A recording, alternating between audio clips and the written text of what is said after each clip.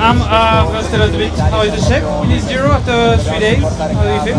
Yeah, I feel uh, quite good at the moment. Uh, preparation was uh, not so good, but the last two weeks I could uh, train well again and actually uh, feeling quite good. So uh, nothing to complain about. And so you feel ready for this first breakaway opportunity, think, of the Giro?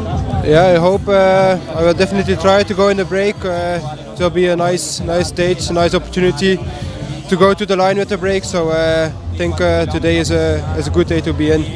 And I suppose you especially like this final, you have good climber qualities and there's nice climb at the end. So Yeah, it's a super hard final, super hard last climb, especially the last uh, three, four k are pretty steep. So uh, I hope I have the legs to be in and then legs to uh, to go to the finish line.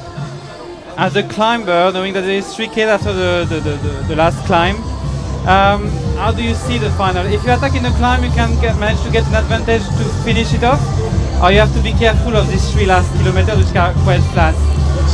Yeah, I think if you're uh, if you are first at top of the climb, you are also first at the finish line. Um, if you have the gap on the climb, they will not uh, chase it back down if you have the legs. So think it's important to to make the gap and make the decision on the climb to, to go and that's uh, that's where the where the big gap will make will we make.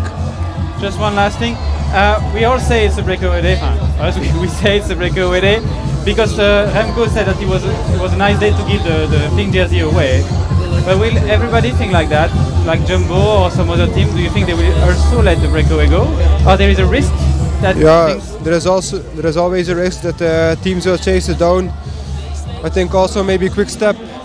They have now the pink jersey. I don't think they will just give it away like this so easily. So we have to be in a really good break to to make it to make it to the finish. Okay, um, best of luck, success.